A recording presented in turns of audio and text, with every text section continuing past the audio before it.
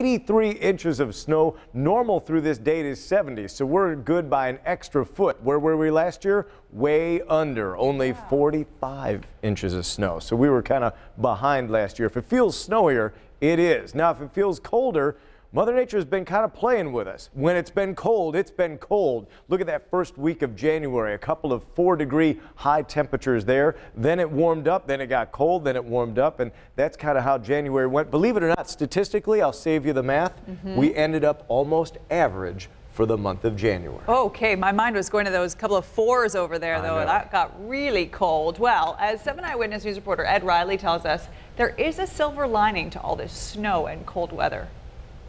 It only takes a couple of days to, to really devastate a crop. Farmers like Brad Draudt in Hamburg have to constantly be on guard for insects, especially with greenhouses filled with tens of thousands of young spring plants. So far this winter, we have not had any insect problems to speak of. Thanks to winter weather conditions that froze the ground outside, it looks like problem bugs that attack local food crops will also be down. Some always make it through, but your populations are decreased greatly. Of course, future spring weather will play a role. The smaller number that you have to start off the year, usually the better off you are. But since this winter's cold also reached far into the southern states, that should help keep some troublesome insects away, at least early on. The colder it gets further down south, the better off we are. It takes them longer to make their way back up here. Last year, we saw problems with ticks and yellow jacket wasp, which have seen their numbers grow during previous mild winters. Kind of aggressive.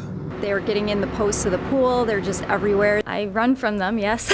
While there is no way to know for sure, Ehrlich Pest Control in Cheektowaga said our current long winter season might help with those problem bugs as well. With the warm up, cool down, warm up, cool down, yeah, it's going to take out a lot of the pest population. But there are some insects that need to increase in population, especially important pollinators like honeybees. We actually have hives brought into our farms, in, into our fields to do the pollinating because there are not a lot of wild honeybees around anymore. Beekeepers are hoping hives have made it through the winter without too much stress. Now the big variable in all of this is March. If things continue to stay really, really cold, it will help keep down the bug population. But if things warm up too quickly, just the opposite could happen.